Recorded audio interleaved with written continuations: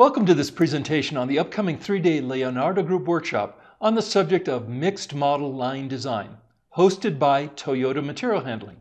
In this video, we'll share with you the agenda for the event, why the subject is so important, and what you can expect to learn.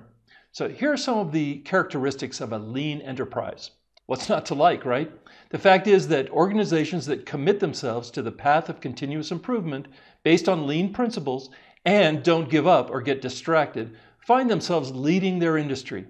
There's no guarantee, of course, but lean companies are also usually more profitable than their competitors and command a higher level of customer loyalty.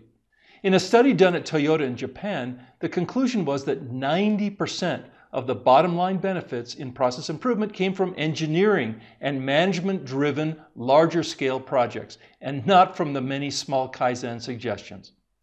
First and foremost, among larger scale projects is the importance of a lean line design. That's the focus of this workshop. If you've been disappointed with the results of your lean initiative up to now, this may be one reason why. So, what is mixed model line design? We use this term to refer to the design and creation of production lines that can build a variety of different products using the same resources, using lean principles and data. We think of line design as lean-based industrial engineering. In our experience, most lean professionals, people either responsible for lean initiatives inside a company or the management team within a company responsible for production or even outside consultants don't know the mixed model line design process.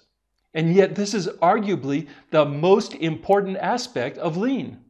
As a lean leader, Toyota has been generously offering to open its doors to us for this event at its forklift plant in Columbus, Indiana.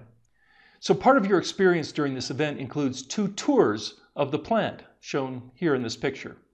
The tour will be led by Toyota experts and questions are encouraged. And by the way, the plant was voted Plant of the Year in 2010 by Plant Assembly magazine, and it was a top 10 US plant voted by Industry Week in the year 2011. Now, what else can you expect at this workshop? One of our big topics of interest and also a major concern is how to build a lean culture of continuous improvement. This Toyota plant is a great example of success in doing that, and you'll have a chance to see it firsthand.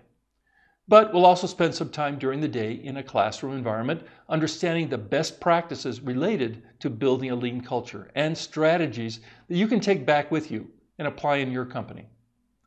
The daily format includes short training modules, application in the implementation workshops, and Toyota plant tours on two of the days.